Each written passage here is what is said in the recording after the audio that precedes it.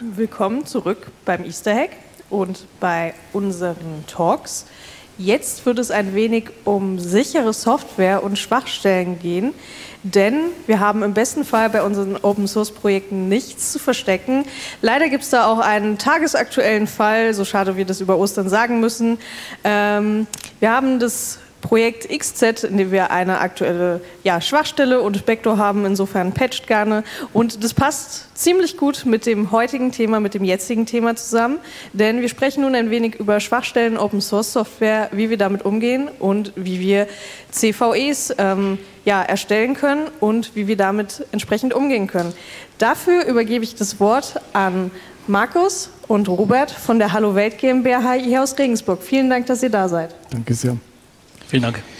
Ja, hallo. Ähm, ähm, wir wollen über CVEs sprechen. Ähm, mein Name ist Markus Glaser. Ich bin ähm, der Mitgründer von Hallo Welt und äh, wir machen ein Softwareprodukt. Ähm, das ist ein Enterprise-Wiki auf der Basis von MediaWiki. Das wird später noch wichtig werden, deshalb kann ich das hier sagen.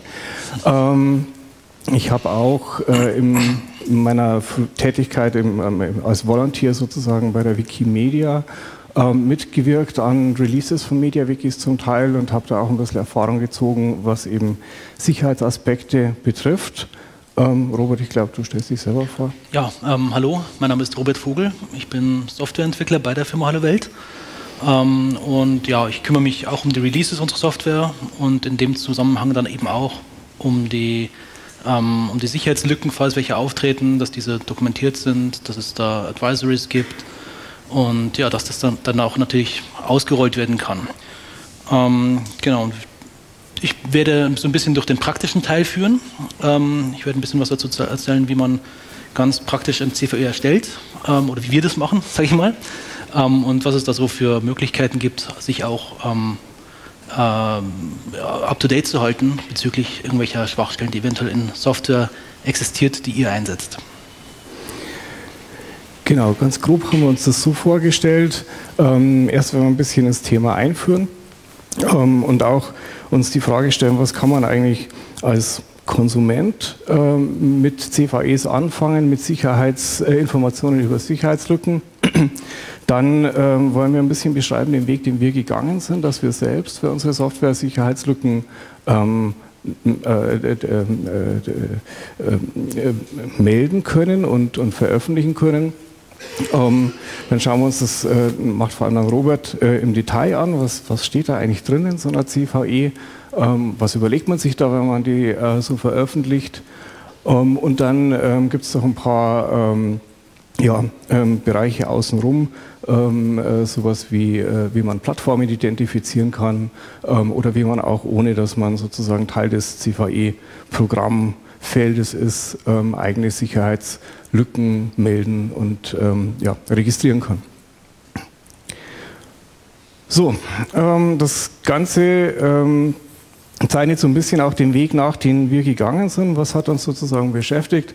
Ähm, es war so, dass äh, wir machen eine tolle Software, das ist klar, aber ähm, selbst die tollste Software hat irgendwann mal ein Problem oder es kann sein. Also wir hatten eine Meldung bekommen, dass wir eine Sicherheitslücke haben in der Software ähm, und dann standen wir da und haben gesagt, was machen wir jetzt damit? Ähm, patchen natürlich irgendwie, aber ähm, wir sind eine Open Source Software, das heißt, wir haben also eine Verbreitung ähm, Leute laden das runter und ich weiß nicht, wer das betreibt. Also ich habe anders als jetzt, wenn ich sozusagen Lizenzsoftware vertreiben würde, wüsste ich über meine Lizenznehmer, wen informiere ich, aber hier ist das schwierig. Ähm, ich habe sozusagen keinen Kontakt äh, zu meinen ähm, Kunden, zu meinen Nutzern. Ne? Ähm, das heißt, direkter Kontakt ist nicht möglich ähm, und dadurch kann ich die Leute auch nicht direkt benachrichtigen. Ich hatte aber, ähm, das war schon, glaube ich, hier ist nicht critical, aber wir fanden es im Rahmen unserer Verantwortung notwendig, die Leute so gut wie möglich zu ähm, informieren. Zweite Geschichte, ähm, wir verbauen auch in unserer Software viele Komponenten. Ich denke, wer selbst äh, Software schreibt, weiß das. Man hat ja die Bibliothekmanager. Ähm, wenn man irgendwas braucht, dann zieht man sich einfach über, bei uns ist PHP Composer, im äh, Node.js-Umfeld ist es NPM oder in Python ist es pip. Man zieht sich die Bibliotheken rein und die kommen halt irgendwo her. Ähm, Und ähm, da hat man dann schnell über die Abhängigkeiten und die Abhängigkeiten der Abhängigkeiten ziemlich große ähm, Bibliothekslandschaften, die man verwendet. Ähm, also das sind dann leicht äh, schnell mal über mehrere hundert äh, Komponenten, die da verbaut sind. Und ähm, jetzt stehen wir natürlich auch sozusagen in der Situation, dass ich sage, wenn ich jetzt ein neues Software-Release rausgebe, ähm, wie kann ich sicherstellen, dass ich keine Sicherheitslücken in den Komponenten schon mit irgendwie ähm, weitergebe oder release.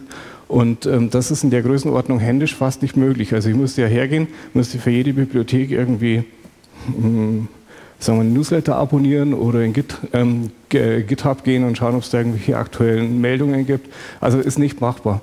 Ähm, das heißt, dieser Verantwortung kann man eigentlich auch nur gerecht werden, wenn man irgendwie einen Mechanismus dafür hat. Ähm, ja, das ist hier so. Ich habe ein paar ab und zu mal so Screenshots da. Das ist zum Beispiel die Liste B bis D der verbauten Komponenten und die haben jeweils wieder Abhängigkeiten. Also ähm, das ist dann schon einiges.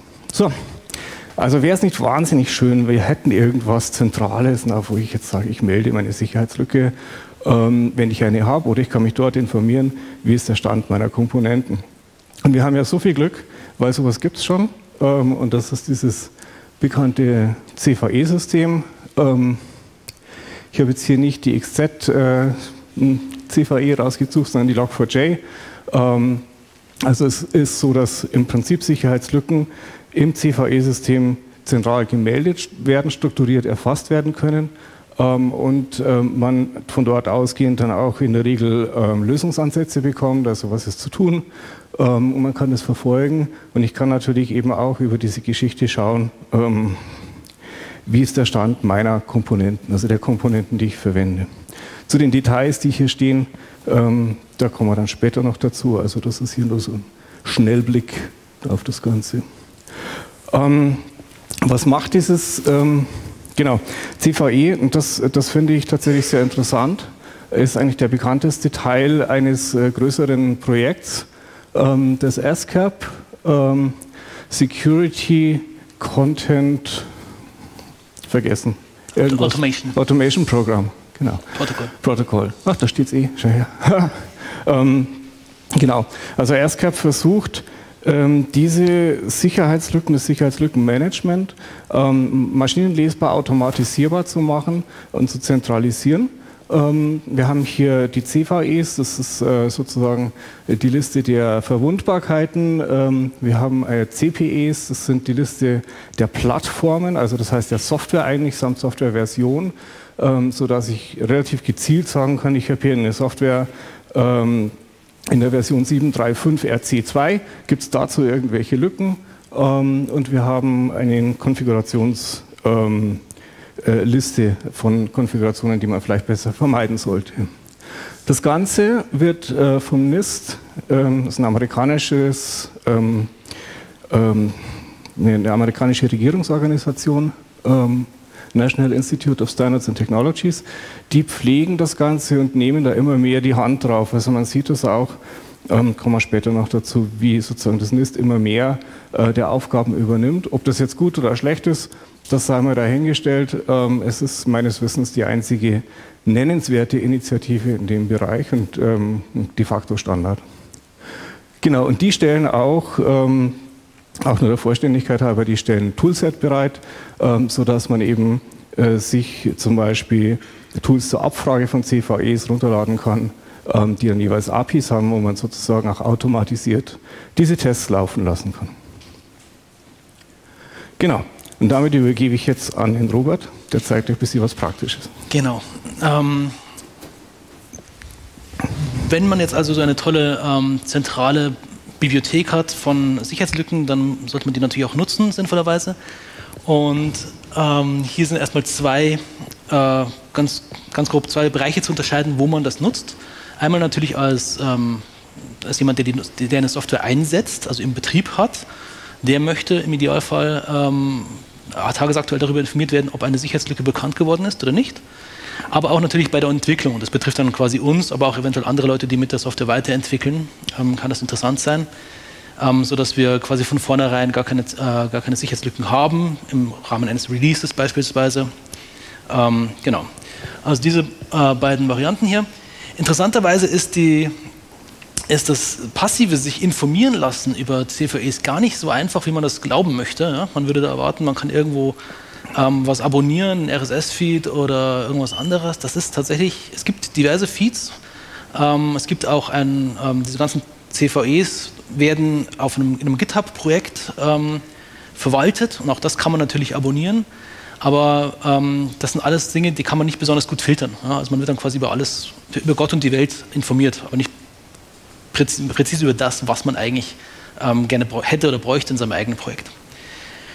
Und äh, glücklicherweise gibt es da ein ganz äh, gutes Tool, beziehungsweise einen Service. Das ist dieses äh, OpenCVE, was, was ich hier habe als Logo auch. Ähm, das ist ähm, eine, ja, ein frei, freier Dienst im Web, kann man sich anmelden, ähm, keine speziellen Voraussetzungen, kostenfrei.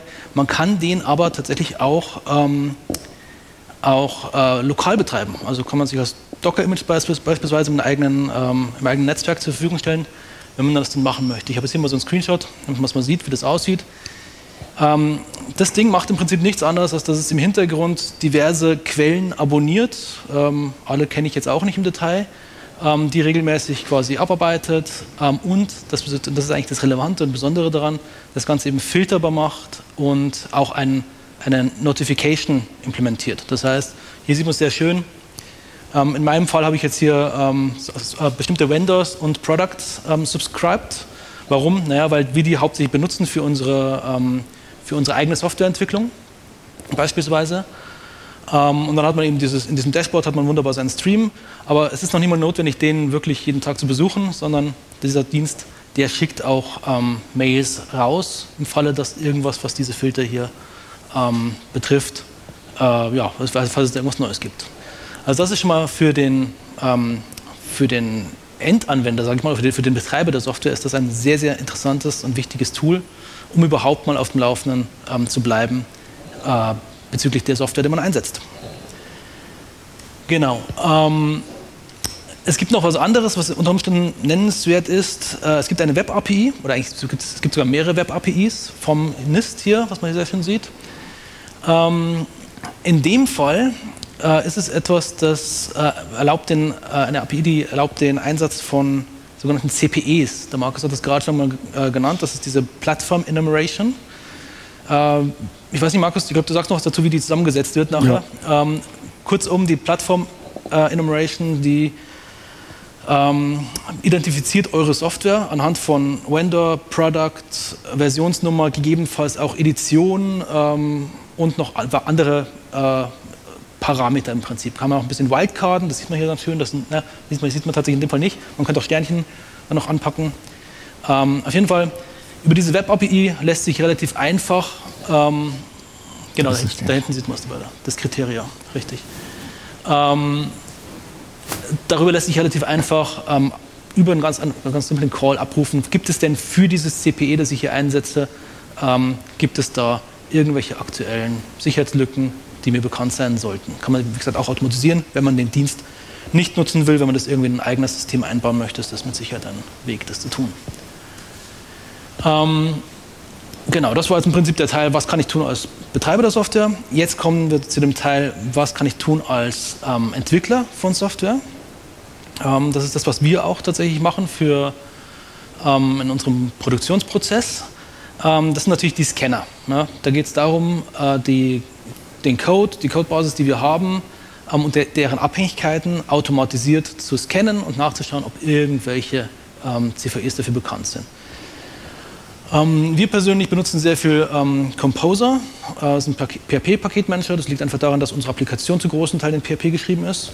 Aber es gibt natürlich auch andere ähm, Paketmanager oder, oder Bibliotheksmanager. Das NPM ähm, dürfte jedem ein, ein Begriff sein. Und diese äh, Paket- oder ähm, Library Manager, die bringen oftmals eine Audit-Funktion mit. So auch eben Composer Audit oder eben das NPM Audit, welches im Prinzip diese ganzen Versionsnummern einfach nimmt, auch wieder ähm, abgleicht ob, mit den, mit den CVE-Listen und das dann ausspuckt. Ähm, was hier auch noch dabei steht, ist Trivi. Das ist vielleicht auch dem einen oder anderen schon ein Begriff. Äh, Trivi ist ein Scanner für Container und VMs. Ähm, nachdem wir heutzutage mehr und mehr Software containerisiert ausgeliefert wird, Ähm, also nicht nur die eigentliche, nicht nur der eigentliche Programmcode ist, sondern auch wirklich, sagen wir mal so, zumindest die, die Basic-Infrastruktur äh, Infrastructure mit dabei, ähm, ist das auch von Vorteil. Ähm, das heißt, wenn wir Container bauen, wenn wir äh, ja, unsere Docker-Container erzeugen, die wir dann auch releasen wollen, dann läuft da nochmal der Trivy-Scan drüber, der dann nicht nur unsere Codebase an sich prüft, sondern auch das Außenrum. Ja. Wir, unsere Software braucht diverse Command-Line-Tools beispielsweise oder andere, ähm, äh, andere Software wie zum Beispiel ja, Webserver, was auch immer. Und auch hier ähm, können wir dann quasi frühzeitig ähm, schon erkennen, ob ähm, CVEs verfügbar sind oder ob CVEs ähm, auftauchen. Ähm, äh, klassischerweise muss auch für den wenn man es auch wieder nur aus der, der, Konsumentensicht sieht, es gibt auch die, diese Trivy, ähm, diesen Trivy gibt es auch als Integration in eine Docker Registry oder eine Container Registry. Ähm, sehr bekannte Registry ist Harbor, kennt vermutlich auch der ein oder andere. Und wenn man da eigene Container reinzieht beispielsweise, dann kann man das eben auch mit Trivy integrieren, ähm, sodass man das ähm, dass man dann quasi in der, in der, in der, äh, im Harbor quasi schon direkt sieht, ob irgendwelche ähm, Sicherheitslücken für diesen Container konkret bekannt sind. Ich habe ein paar Screenshots, weil ich mir nicht sicher war, ähm, wie, äh, wie es mir hier im Netzwerk funktionieren wird. Ähm, das sehen wir uns gleich mal an. Ein letztes möchte ich noch nennen, das ist dieser PHP Security Scanner, der steht hier ganz außen. Das ist auch wieder so ein bisschen eine Besonderheit, die wir natürlich nutzen ähm, für PHP-Projekte, ähm, der auch nochmal äh, ganz ähnlich funktioniert wie dieses Auditieren ähm, von Composer, allerdings auch nochmal ein bisschen andere Datenbasis zugreift. In dem Fall von einem sehr großen Projekt, äh, PHP-Projekt Symphony, ähm, äh, quasi äh, gewartet und bereitgestellt, diese, diese Datenbank, mit der man dann ähm, nochmal ein bisschen, äh, noch ein bisschen mehr Informationen kriegt quasi. Sinnvollerweise ist das natürlich alles irgendwie in die äh, ins Continuous äh, de, ähm, Integration integriert. Also das heißt, wenn wir irgendwelche Codeänderungen haben, ähm, dann sollte nach Möglichkeit sehr, sehr zeitnah dieser, ähm, sollten diese Tests ablaufen sodass wir gar nicht erst in die Verlegenheit kommen, äh, einen, äh, einen Bild zu releasen, der bestehende CVEs enthält. Es kann natürlich immer noch sein, dass nachträglich, nachdem man released hat, irgendein neues CVE bekannt wird. Ja? Also das ist, das ist ganz klar. Das ist ja immer eine, gibt immer einen zeitlichen Aspekt dazu auch. Genau, dann habe ich immer noch ein paar Screenshots, damit ihr euch das vorstellen könnt, wie das aussieht. Also hier sehen wir das zum Beispiel in Harbor, in dieser Docker Registry. Da haben wir dann eben die verschiedenen, ähm, die verschiedenen Images oder Image-Versionen. Und dann sieht man hier hinten sehr schön grafisch auch aufgeschlüsselt, wie das Ganze dann aussieht. Ähm, da nochmal das Ganze mit Trivia auf der Kommandozeile. Das Interessanteste hier dürfte sein, ähm, dass äh, Trivy uns auch Informationen dazu gibt, wie man eine ähm, Sicherheitslücke eventuell beheben kann. Also zum Beispiel durch das Update einer bestimmten Komponente. Habe ich hier rot markiert diese Spalte. Genau, aber das gibt oftmals sehr, sehr lange ähm, äh, Listen aus. Es ist auch gar nicht immer möglich, alle von denen äh, zu beheben. Man, äh, dafür kommt diese Severity ähm, ins Spiel, dass man auch einschätzen kann, ähm, wie viel, äh, ja, man, man, muss im, im, Einzelfall eventuell ähm, entscheiden, ob diese Sicherheitslücke tatsächlich ein Problem in diesem Kontext ist beispielsweise. So, hier das Ganze nochmal mit NPM Audit, auch hier nichts Besonderes im Prinzip. NPM hat zudem noch die Möglichkeit, Sachen gleich zu fixen, also quasi selber die Versionen äh, anzupassen, falls es denn möglich ist. Äh, kann ich nur empfehlen, sowas dann auch zu nutzen in der Entwicklung. So, hier haben wir das Ganze nochmal mit Composer, der hat das nicht, aber es sieht im Prinzip alles gleich aus. Ja? Das Ding geht einfach Bibliothek für Bibliothek durch, schaut sich, die, ähm, schaut sich die Versionsnummer an und listet dann eventuell Informationen. Ihr seht auch hier meistens gibt es dann noch die entsprechende Advisory-URL dazu. Die Advisories sind relevant, weil sie Informationen enthalten darüber, wie man die Sicherheitslücke entweder beheben kann oder ähm, ob es einen Workaround gibt, ähm, den man nutzen kann. Oder auch generell mehr Informationen, ob sie relevant ist oder nicht, stehen da drin. Last but not least hier dieser PHP Security Scanner, auch hier nochmal. Ähm, das ist jetzt aus unserer äh, CI beispielsweise direkt genommen. Die anderen Sachen hatte ich ähm, bei mir lokal einfach mal ausprobiert, um es zu zeigen hier. Ähm, Im Prinzip das gleiche äh, Prinzip, ähm, ja, läuft vollautomatisiert ab in der CI und äh, gibt dann eben Informationen darüber, ob ein bestimmter Bild, den man erstellt hat, ähm, akzeptabel ist oder nicht aus CVE-Sicht. Gut, und das wäre es also zu dem Teil. Dann ja. bin ich wieder übergeben. Ähm, jetzt äh, ist es so, wenn man sich sozusagen entscheidet, dass man eine CVE vergeben möchte, wenn man sagt, das ist jetzt wichtig, uns ging es zumindest so, ich bin da wahrscheinlich relativ naiv reingegangen, habe mir gedacht, aha, ähm, da gehe ich irgendwo hin und ziehe so eine Marke und dann kriege ich eine CVE-Nummer. Ganz so einfach ist es nicht. Ähm, und äh, ich habe mir in dem Zusammenhang auch, haben wir uns angeschaut, wie ist sozusagen die äh, Organisation rund um diese CVEs. Es ist also tatsächlich ähm, schon ein halbwegs komplexes Gebilde. Ähm, da hat äh, im Prinzip CVE.org, das kommt von der MITRE, ähm, ist wieder eine amerikanische regierungsnahe Organisation, Forschungsorganisation. Ähm, MITRE, die haben, die pflegen diese Datenbank und haben da die Hand drauf. Also man kann nicht einfach sagen, ich packe jetzt da meine Nummer rein oder so, sondern man muss mit denen erst in Kontakt treten. Ähm, genau, ähm, ähm es gibt, wahrscheinlich glaube ich, habe das noch schöner hier. Ähm, äh, diese CVE-Org ähm, verwaltet diese Daten, wird von MITRE sozusagen gestützt und auch finanziert, arbeitet zusammen mit dem NIST, das wir vorher schon hatten, das eine weitere Datenbank pflegt, die NVD, National Vulnerability Database. Ähm, auch interessant, da kommen wir später dazu, weil es passiert nämlich auch was, wenn man so eine CVE veröffentlicht, auch äh, an anderen Stellen. Ähm, und ähm, es gibt eine ganz ordentliche Hierarchie innerhalb dieser ähm, sozusagen dieser Organisationen, die da ähm, berechtigt sind, CVEs zu vergeben und das Ganze zu verwalten. So, ähm, ich habe da ein paar Folien von ähm, CVE mal geklaut. also die Mission ist natürlich, dass man hier das, die, die Programm Umsetzung, also dass man die Ver Verbreitung des Programms natürlich auch fördert. Also die haben dediziert, das fand ich eigentlich hier ähm, vor allem interessant, ähm, diese CVE, CVE Program Adoption, dass die also definitiv sagen, wir sind hier kein geschlossener Haufen und macht bloß nicht mit, wir pflegen nur ganz wenig, sondern die setzen also auf weite Beteiligung.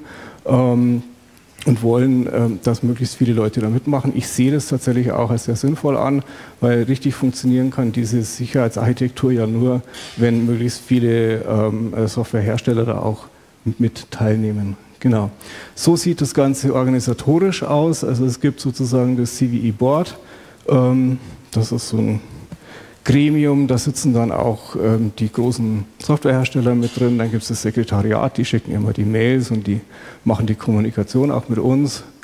Ähm, und die Arbeitsgruppen, ähm, da kann auch jeder mitmachen, da muss man also nicht Teil ähm, dieses, dieser Organisation sein. Ähm, ich schreibe äh, Sie mal später, was die so machen.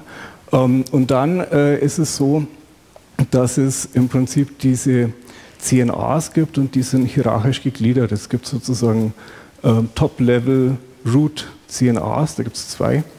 Ähm, und dann gibt es ähm, die Root CNAs, das sind, wie man hier schon sieht, auch relativ große Namen. Und dann gibt es die einzelnen CNAs, das sind solche wie wir. Ne? CNA heißt ähm, äh, CVE Numbering Authority, also wenn man CNA ist, darf man eben CVE-Nummern vergeben in einem bestimmten definierten Scope. Ähm, und äh, je nachdem, wie hoch man in dieser Hierarchie ist, darf man eben mehr und breitere ähm, CVE-Nummern vergeben. Ähm, wenn man jetzt zum Beispiel keine eigene CNA ist, dann kann man sich bei einer der Top-Level-CNAs melden und sagen, ich habe hier eine Sicherheitslücke, könnt ihr meine CVE für mich ziehen und das Ganze den Prozess durchgehen. Genau, wir sind logischerweise so ganz unten in der Hierarchie. Also als kleiner Regensburger Softwarehersteller wirst du mit Sicherheit keine Root CNA werden. Ähm, wollen wir auch gar nicht, das ist ganz schön viel Arbeit. Also man muss das ja auch dann alles bewerten. Hier sieht man das, ähm, auch hier interessant, ähm, dass sie eben 2017 haben sie angefangen, das Ganze von einem zentralisierten Organ ähm, auf eine dezentrale Architektur, diese CNA-Architektur umzustellen. Ähm, sie machen auch Werbung dafür, also ist es so, dass man dass sie sich freuen, wenn man sich registriert als CNA, weil dann haben sie weniger Arbeit. Ähm, und äh, man sieht hier auch, dass das ganz massiv ähm, wächst. Also in, in, letzter Zeit kommen immer mehr CNAs dazu. Ähm, wir haben ja die Freude, dann auch in so einem Newsletter teil zu sein und ich kriege sozusagen einmal in der Woche, welche neuen CNAs jetzt wieder aufgetaucht sind. Genau. bitte?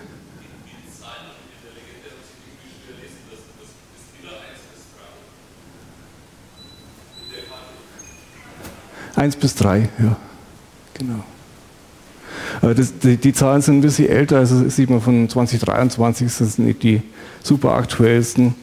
Ich glaube, diese Mail, diese Bestandsaufnahme war irgendwie September oder Oktober. Genau, ähm, das sind die Working Groups, also da kann man dann auch mitmachen. Ähm, ähm, ähm, vor allem an dem, in dem Bereich ähm, Automatisierung und auch in dem Bereich ähm, Outreach, also sozusagen ähm, das Ganze bekannt zu machen. Ich muss sagen, wir sind relativ wenig aktiv in Working Groups. Also wir haben, ähm, wir haben uns als CNA registriert, eigentlich in erster Linie, um unsere eigene Software mit Sicherheitsmeldungen zu versehen. Ähm, aber ähm, da kann man sich auch beteiligen, wenn man sozusagen der Meinung ist, dass das was Gutes ist und die Zeit dafür hat. Genau. So, jetzt, äh, wie, wie ist das bei uns? Wie, wie läuft der Prozess ab? Also wie kriegt man, wie wird man eine CNA? Ähm, also erst erstmal muss man sich die Frage stellen, warum macht man das überhaupt? Ähm, es gibt schon die Möglichkeit, auch CVEs ähm, zu registrieren, ohne dass man selber in diesem Organisationskontext aktiv ist. Ähm, allerdings gibt es da ein paar Caveats. Ähm, wenn ich sozusagen als Softwarehersteller ähm, will ich ja auch, habe ich ein großes Interesse daran zu wissen, welche Lücken meine Software hat. So. Ähm, wenn jetzt äh, eine Meldung reinkommt und irgendjemand meldet es bei Red Hat, also Red Hat ist eine Root-CNA, dann ist die Frage, woher weiß ich, dass zu meiner Software eine CVE existiert. Also es geht eigentlich dann nur, wenn ich sie wieder irgendwie abonniere selber und, und das verfolge. wenn man aber eine CNA ist, dann ist sozusagen der Prozess, dass es immer an die CNA weitergeleitet wird, die die Verantwortung für, einen bestimmten Software, für eine bestimmte Software übernimmt. Das heißt, ähm, wir wissen darauf zentral, dass wir sozusagen die, ähm, ja, dass es unsere Software betrifft. wir werden da auch als Erste informiert, natürlich. Ähm, das ist ja der ganze Komplex, ähm, der ja auch in diesem Umfeld hier oft diskutiert wird. Sicherheit, Disclosure, wann äh, gibt, man, ähm, äh, gibt man Lücken bekannt, wenn sie da sind. und wir haben da so, ich glaube, das ist auch so ein bisschen Common Sense momentan, eher so Responsible Disclosure Modell. Das heißt, wir schauen erst, dass ein Patch da ist, bevor wir die Lücke bekannt geben committen uns natürlich auch dazu, dass wir das schnell machen. Also wir haben, glaube ich, so eine Woche bis eineinhalb Wochen Reaktionszeit aktuell. Ähm, und ähm, das kann man natürlich nur machen, wenn man selber sozusagen mit in den Prozess eingebunden ist und sagt, okay, jetzt veröffentlichen wir das auch als Security Advisory. Und natürlich ähm, hat es schon so den Punkt, dass man sagt, Street Credibility, also wir nehmen es ernst, äh, die Sicherheit, wir beteiligen uns an dem Prozess und ähm, wir kümmern uns auch darum, ja, um die Software. Okay. Wie funktioniert das Ganze? Also äh, CNA werden ist ein fünfstufiger Prozess. Ähm, das geht los mit die Leute kontaktieren. Ähm, da muss man ein paar Daten angeben, wer man so ist und ob man irgendwie ja, hier nicht nur Spaß macht. Ähm, dann gibt es ein paar Anforderungen, die man erfüllen muss und ähm, dann wird man sozusagen interviewt. Da hatten wir, kommen wir dann dazu. Ähm, und dann ähm, ist man eine CNA. Genau. Ähm, Kontakt ist relativ einfach. Ähm, es gibt auf der Webseite von CVE.org gibt es einen Einstiegspunkt äh, mit, einer, äh, mit einem E-Mail-Formular und da kann man im Prinzip hinschreiben. Das habe ich auch gemacht dann. Wie gesagt, ich war dann auch eher naiv und habe gedacht, schauen wir mal, wie weit man kommt. Ähm, habe dann gesagt, ich, wir, wir, würden gern CNA werden. Geht das? Sind wir überhaupt so mit ähm, unserer ähm, Firmenmächtigkeit? Wir sind jetzt, wie gesagt, kein industriegroßer Softwarehersteller. Sind wir da überhaupt geeignet dafür? Ähm, es hat sich herausgestellt, dass es relativ leicht ist. Die wollen auch, wenn man Hersteller ist, möglichst, dass die eigenen Leute die Sicherheit bewerten ähm, und äh, in den Prozess eingebunden sind weil Sie sagen, der Softwarehersteller kennt sich natürlich auch am besten mit der Software aus, kann am besten bewerten, wie kritisch dieses, die Lücke ist zum Beispiel und sollte auf jeden Fall mit im Boot sein. Also war einfach. Ähm, man kriegt dann eine Mail äh, mit einem ähm, Formular. Das, da, den Teil habe ich leider irgendwo, der ist im Mailverkehr verloren gegangen, deshalb konnte ich das, kann ich das nicht zeigen. Ähm, man schreibt halt im Prinzip, was man macht, äh, schickt die Homepage hin ähm, oder äh, das Repository, das man pflegt ähm, und ein paar Kontaktdaten und ähm, dann geht es sozusagen in den Teil Meet Requirements. Das heißt, ähm, da gibt es paar Anforderungen. Ähm, die sind jetzt aber auch meines Erachtens nicht wirklich krass, ähm, sind die drei. Ähm, wir brauchen, wir mussten es ähm, Vulnerability Disclosure Policy veröffentlichen, ähm, zeige ich gleich. Ähm, dann müssen wir sozusagen äh, eine Webseite pflegen, wo wir unsererseits sagen, dieses, wo wir sozusagen eine Match zum CVE ähm, abgeben. Das sind die Security Advisories. Warum? Damit wir sozusagen der CVE die Validität verleihen. Also die sagen, wenn es auf der Homepage vom Hersteller ist, sozusagen ein Advisory und hier ist die CVE, das passt zusammen ähm, und äh, damit ist das okay. Und da muss man auch die Terms of Use akzeptieren. Das war der einfachste Teil. Man schreibt Ja und dann ist es akzeptiert. Ähm, ist auch nicht so schwer. Ähm, die sagen meines Erachtens auch zu Recht, wenn man hier Daten veröffentlicht im CVE-Umfeld, dann kann CVE auch aktiv verwenden, dann kann sie verbreiten. Also ist es eine halbe Bildschirmseite Lizenz ähm, ist, äh, man überträgt ihnen sozusagen die Rechte, das weiter zu verbreiten. Genau. Äh, Vulnerability Disclosure Policy, was ist das eigentlich? Ähm, wir mussten im Prinzip oder haben ähm, auf unserer Homepage, äh, Homepage, veröffentlicht, wie wir umgehen mit Sicherheitslücken, die gemeldet werden. Ähm, wie meldet man an uns? Was ist der Scope? Also äh, um was kümmern wir uns, um was kümmern wir uns nicht? Ähm, wie gehen wir damit um, was versprechen wir, welche Reaktionszeiten und so weiter. Und das äh, steht dann da drin, das ist also ein, ich glaube, ein vier-, fünfseitiges Dokument. Ähm, letzten Endes ähm, haben wir zum Beispiel, äh, ist, es, ist es gang und gäbe zu sagen, äh, wenn jetzt die Sicherheitslücke dadurch entsteht oder die, das Problem, dass jemand die Festplatte aufbohrt, ähm, dann ist es nicht in unserem Scope. Wir sind Softwarehersteller, wir, sichern nicht die Hardware ab äh, von Leuten und kümmern uns da nicht drum. Ähm, wir sagen auch, dass wir diese Versionen von vor fünf Jahren nicht mehr mit Sicherheitspatches versorgen, also steht auch drin, sozusagen, sondern die aktuellen Versionen. Ähm, und dann gibt es natürlich auch so eine, steht auch das Verfahren drin, das heißt, äh, was macht jemand, der eine Sicherheitslücke findet? Der, was soll der tun? Ähm, wie, wie, sollen wir reagieren ähm, und so weiter. Also wie ich gesagt habe, wir committen uns da zum Beispiel zu einer Veröffentlichungs- oder Lösungszeit. Ähm, wir geben den Leuten dann auch, ähm, wir haben eine Hall of Fame, Security Researcher Hall of Fame, ähm, wo man dann sozusagen eingetragen wird als äh, Gegenleistung äh, und so weiter. Da steht hier alles drin. Und die ist auf der Homepage sozusagen unter den, äh, neben den AGBs und äh, den ganzen Lizenz und was auch immer Texten veröffentlicht. Ähm, das, das Zweite, was man braucht, ist eben diese Security Advisory Liste. Ähm, nachdem wir ein Wiki herstellen, haben wir uns ein Wiki hingestellt und da steht diese Liste drin. Ähm, man sieht hier, das ist sozusagen unsere Stellungnahme, wenn man so möchte, zu den CVEs. wir können hier natürlich auch Dinge hinterlegen, die keine CVEs haben. das ist ja nicht immer sozusagen ähm, hat nicht immer die Fallhöhe, dass man sagt, man packt eine CVE rein. Und ähm, diese Security Advisories also sind auch relativ schwach gehalten, weil wir nämlich sagen, eigentlich ähm, packen wir alles in die CVEs rein. Ähm, die sind sozusagen, die werden verlinkt mit den CVEs ähm, und damit weiß man dann, der Hersteller ähm, hat dazu Stellung genommen. Genau, dann kommt also wenn man diese zwei Dokumente erstellt hat, ähm, wie gesagt, das war jetzt kein Hexenwerk, diese Security Disclosure Policy, mm, ist natürlich, man muss schon ein bisschen drüber nachdenken, ähm, aber wie macht man sowas? Man holt sich halt fünf andere und äh, schaut, was die machen und ähm, übernimmt dann die, die Best Practices daraus. Dann durften wir uns ein Video anschauen ähm, zum ähm, Thema, wie sind die Verfahren, also da kommt der Robert ja noch dazu. Ähm, und äh, dann hatten wir tatsächlich äh, eine Session mit ein paar Leuten, die mit uns dann besprochen haben, wie das so geht, als, äh, was man so für Verantwortung hat ähm, und ähm, wie das so geht, ähm, so eine CVE zu veröffentlichen. Tatsächlich ist, das fand ich sehr witzig, das größte Problem, das, das sie diskutiert haben, war die, sie haben umgestellt von einem Schema JSON 4 Schema auf JSON 5 Schema. Das war mir zum derzeit, damaligen Zeitpunkt völlig egal, weil ähm, da gibt es auch Tools und Oberflächen dafür, aber das war Ihnen ganz wichtig, dass man jetzt das neue Schema verwendet und nicht das alte. Ähm, also es ist auch sehr techniklastig dann geworden.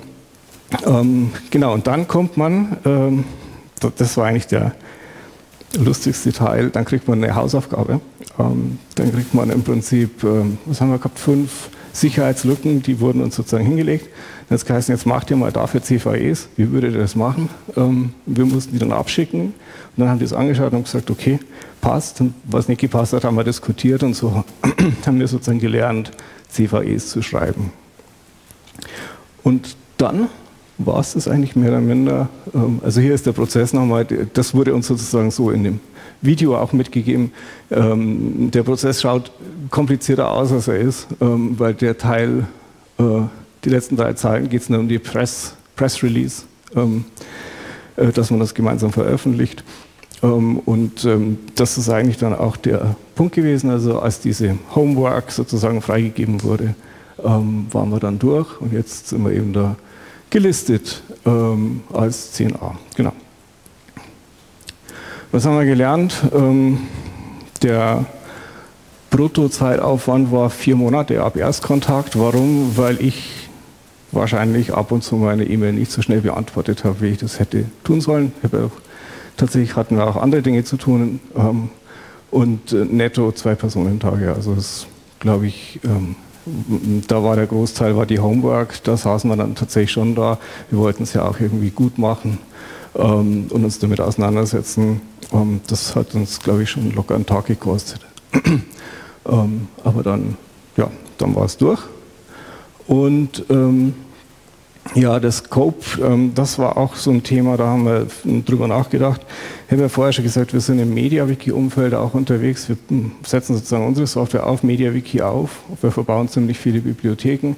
Und die Frage war dann, was passiert, wenn eine Sicherheitslücke im MediaWiki gefunden wird oder in einer Bibliothek. So, ähm, bei den Bibliotheken hätte ich tatsächlich, habe ich schon überlegt, ob man die Verantwortung nicht übernimmt und sagt, okay, da kann man auch zu uns kommen.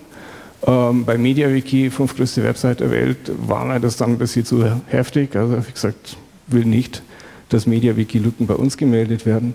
Und das haben wir dann sozusagen ausgeschlossen aus dem Scope. Also ähm, es geht sozusagen nur um das, was wir, ähm, was wir wirklich auch entwickeln und was wir im Griff haben.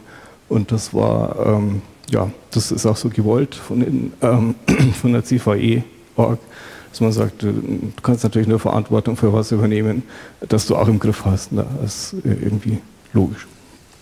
Okay, dann ähm, schauen wir mal, wie so eine CVE äh, entsteht. Genau, vielen Dank. Ähm, ja, eine CVE ist natürlich erstmal ein technisches Dokument ähm, und als solches äh, hat es bestimmte äh, Formatvoraussetzungen ähm, oder Inhaltsvoraussetzungen. Man muss bestimmte Sachen ein, ähm, eintragen, ausfüllen. Ähm, wir werden auch gleich sehen, es gibt ganz, eine ganze Menge an Sachen, die man da eingeben kann. Ähm, glücklicherweise muss man gar nicht so viel eingeben. Ähm, und ja, das möchte ich mir jetzt kurz mit euch anschauen. Es geht auch um die Frage, zum Beispiel, wann veröffentlicht man ein, äh, eine CVE?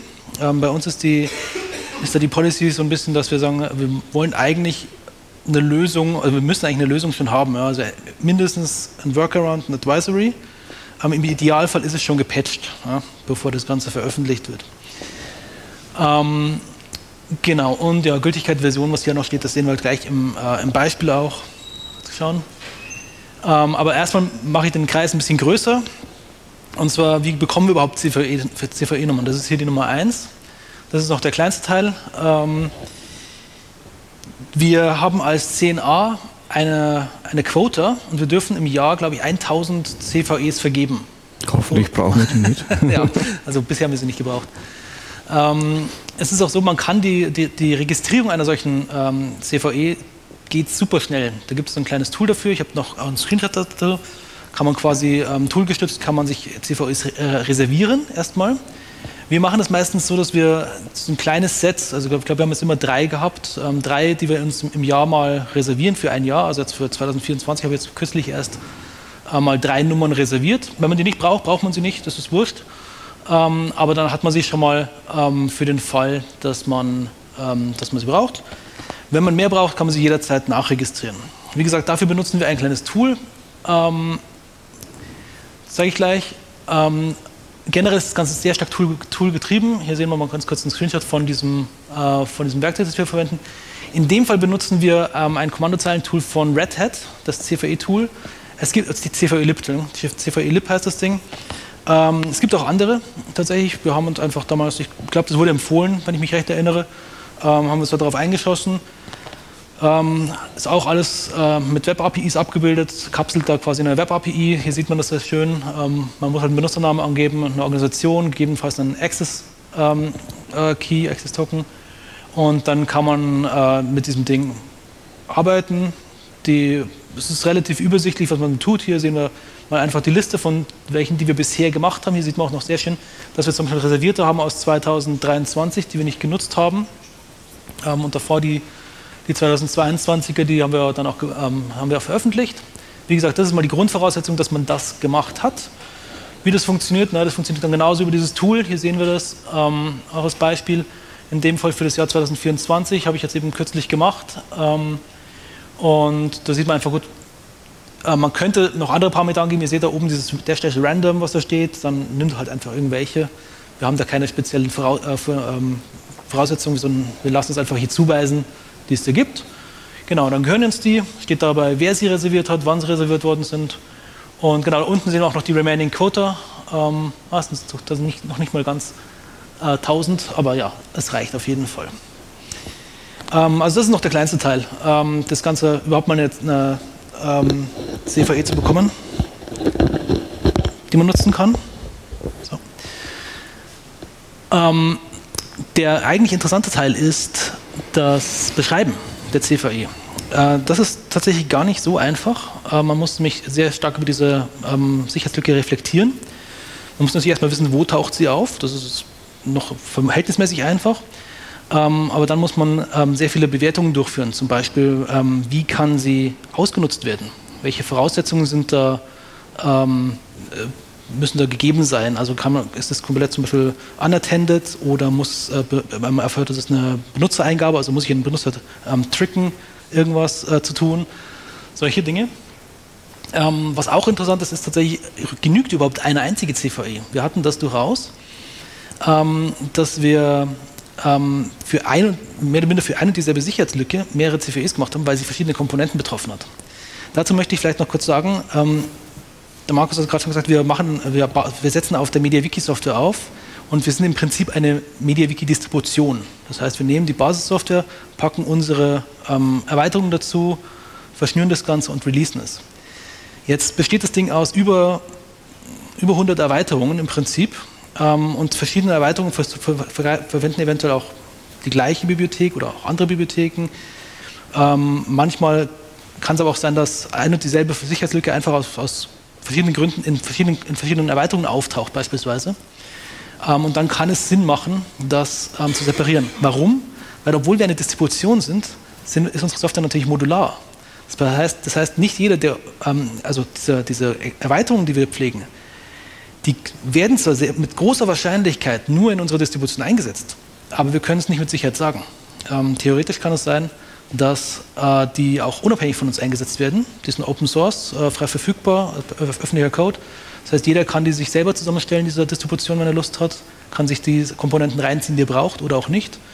Und deswegen kann es durchaus sein, dass man solche, ähm, dass man so eine Sicherheitslücke auch mal hier aufsplitten muss. Ich habe dann gleich auch ein Beispiel dazu. Ähm, ja, welche Versionen sind betroffen, ist eigentlich auch ganz klar. Ähm, da muss man dann meistens ein bisschen äh, Forensik nochmal betreiben. Also seit wann wird, ist, diese, ist diese, dieser betroffene Code in der Applikation drin? Muss einfach historisch mal ein bisschen zurückgehen, ähm, die, die bisher releaseden Versionen angucken. Und natürlich die obere Grenze ist dann hoffentlich immer die, die man gerade schon gepatcht hat, dass man sagt, okay, jetzt haben wir einen Patch rausgebracht, ähm, jetzt ist, ist, die Sache auch gut. Ähm, das kann aber durchaus sein, dass es über mehrere äh, Miner- oder sogar Major-Versionen geht, geht, ist durchaus möglich. Da muss man halt dann wirklich auch gucken, okay, wann kam denn dieser Code rein? Das ist relevant. Und ganz wichtig, der Schweregrad der, ähm, der Sicherheitslücke. Ich würde aber fast sagen, das ist mit das Wichtigste, weil der Schweregrad ist exakt das, worauf die Leute schauen, wenn sie nach CVEs gucken.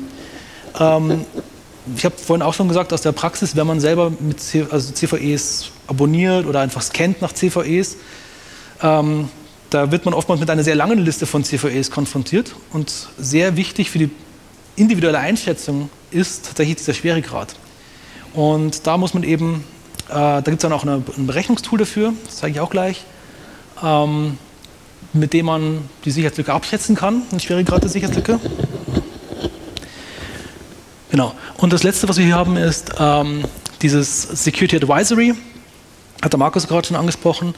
Ähm, wir veröffentlichen eben zu den CVEs noch ein Security Advisory. Das ist diese Wiki-Seite, auf der wir das Ganze nochmal beschreiben, wo wir dann auch nochmal Credits geben ähm, an denjenigen oder diejenigen, die ähm, das gemeldet haben unter Umständen, also wie es, wie es, ähm, wie es äh, bekannt geworden ist, die Sicherheitslücke.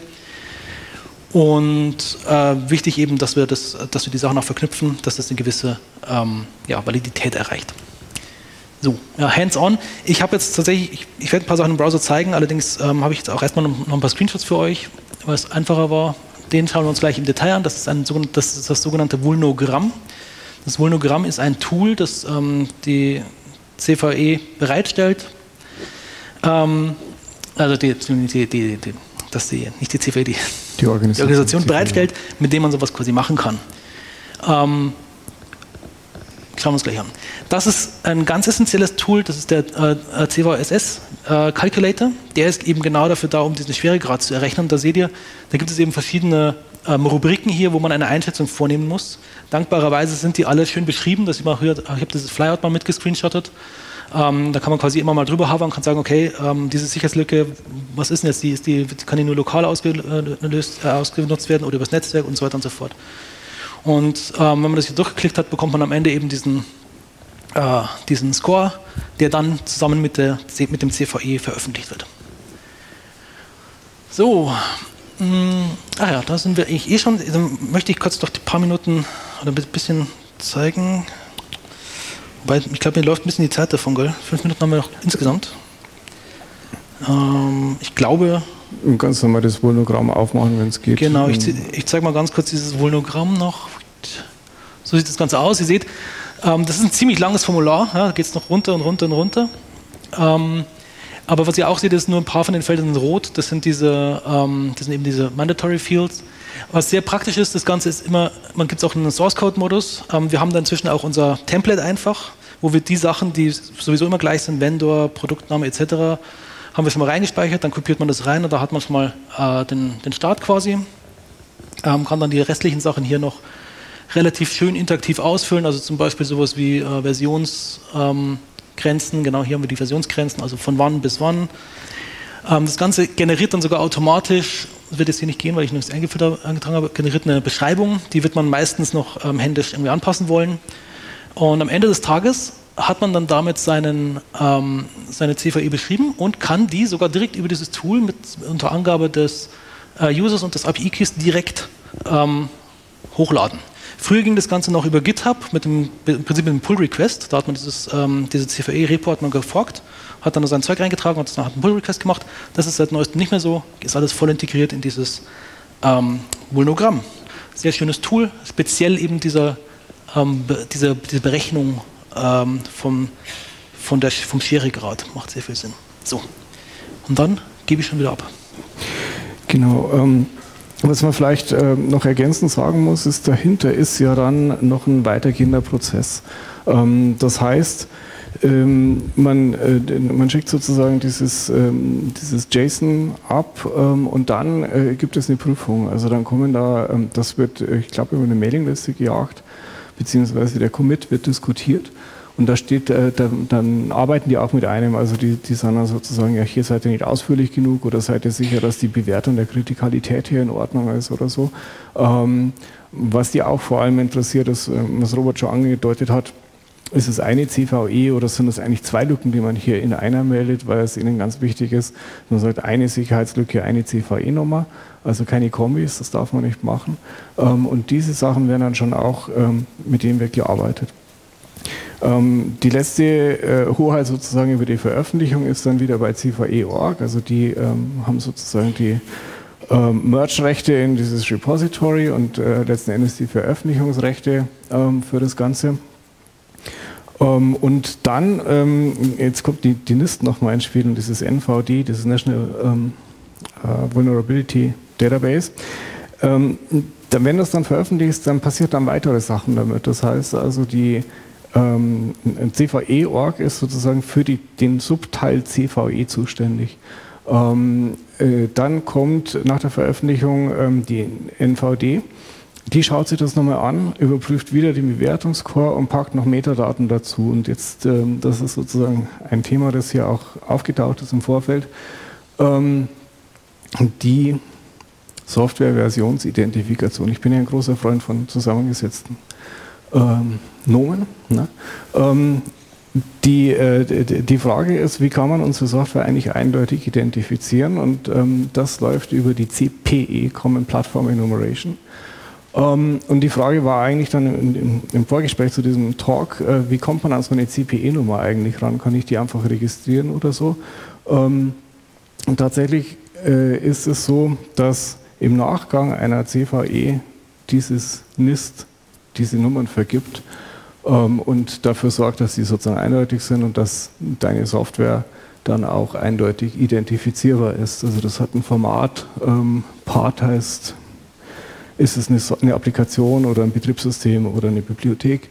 Ähm, Vendor wäre dann in unserem Fall die Hallo Welt, äh, Produkt des Bluespice und dann die Versionsnummer und dann kann man hinten noch äh, ein paar Detailinformationen abgeben, äh, bis hin zur Sprache, wenn die betroffen ist. Ähm, das macht aber, wie gesagt, das NVD. Ähm, war ursprünglich vom MITRE betrieben. Das ist so ein Beispiel, wo man sieht, dass die NIST ähm, äh, und, und mit ihrer NVD-Datenbank mehr und mehr übernimmt. Also ähm, MITRE hat diese Aufgabe abgegeben. Ähm, MITRE hat das ganze Community betrieben gemacht. Da war, also es war, gibt es eine Seite, die ist sehr einladend. Hey, wenn du eine Plattform äh, CPE brauchst, dann melde dich doch hier, ist überhaupt kein Problem, mach mit, hier ist die Mailingliste und so weiter.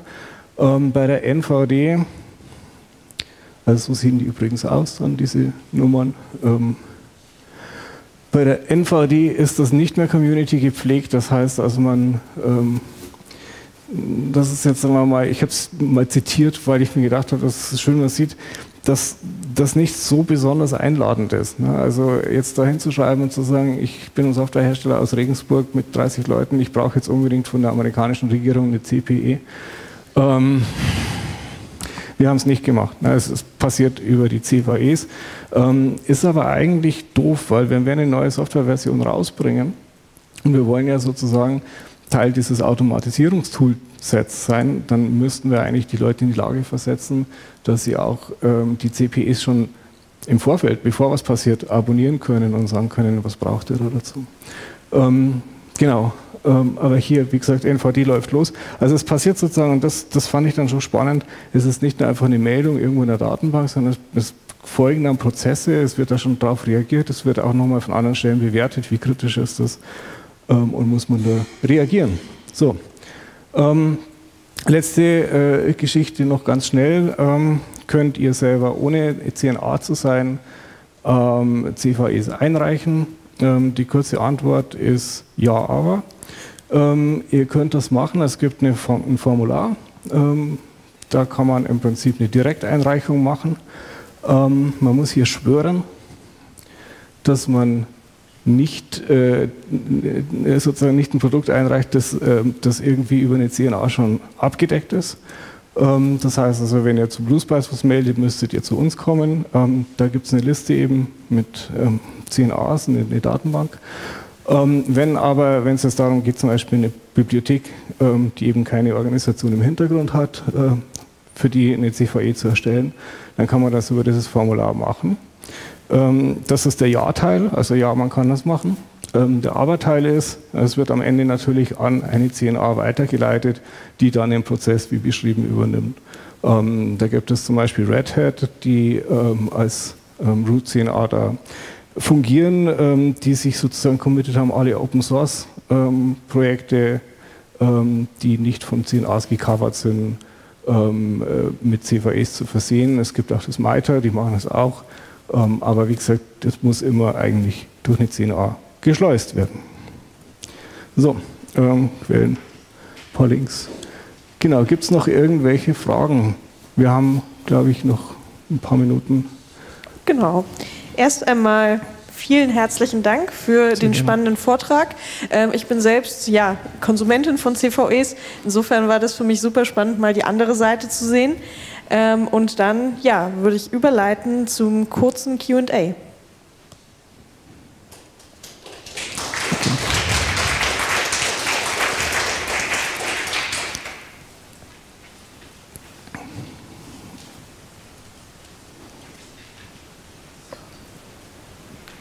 Hallo, ähm, vielen Dank für den Vortrag. Äh, jetzt frage wie, also ich hätte jetzt so einen Blue Spice da und dann sehe ich, okay, ihr habt jetzt so einen Namenseintrag und dann würde ich den abonnieren, aber jetzt ist irgendein Problem im MediaWiki darunter und das wird mich ja auch betroffen. Wie, wie kriege ich dann das mit? Da seid ihr ja nicht schuld dran. Ähm, also MediaWiki taucht an sich auch auf als Vendor.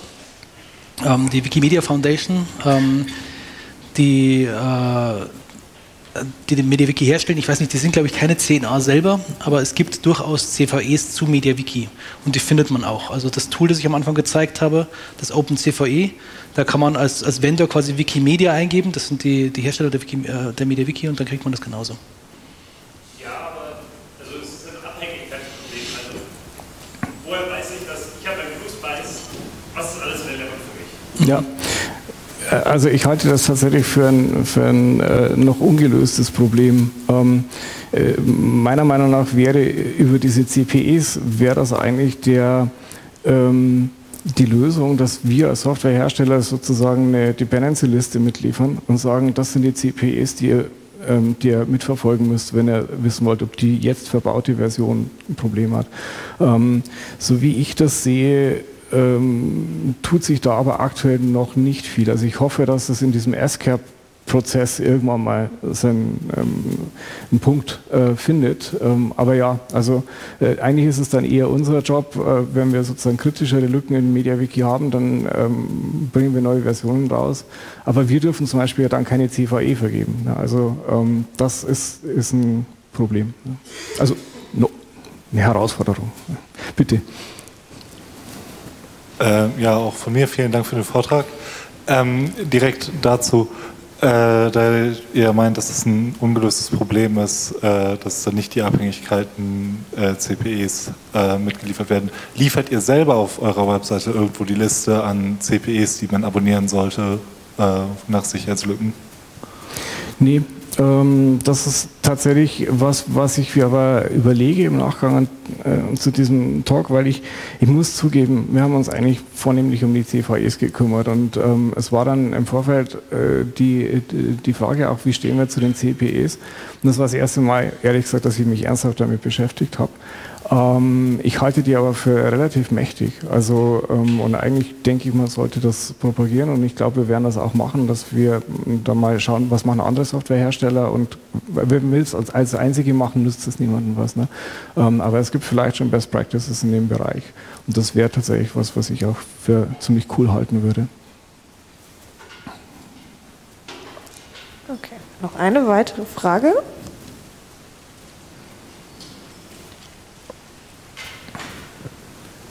Also ich finde es erstmal voll gut, dass ihr eure Konsumenten darauf aufmerksam machen wollt.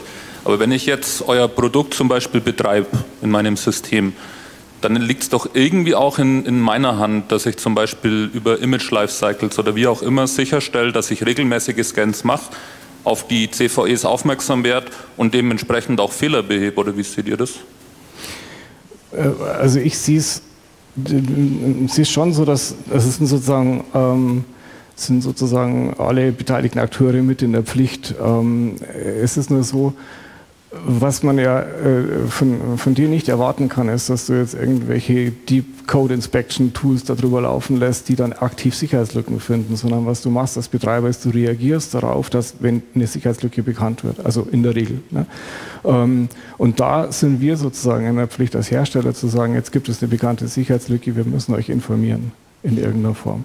Ähm, dann, und dieses Informieren passiert ja dadurch, dass wir ein CVE veröffentlichen, die dann dein Scanner wieder findet und sagt, ähm, hier über Trivia oder so, ne, ähm, äh, sagt, hier gibt es eine CVE zu dieser Software, ähm, die verbaut worden ist. Alright. Ähm, dann hätte ich noch vielleicht eine ganz, ganz schnelle Frage an euch. Ähm, und zwar habt ihr ja gesagt, dass ihr ähm, Anfang des Jahres immer drei CVIs registriert.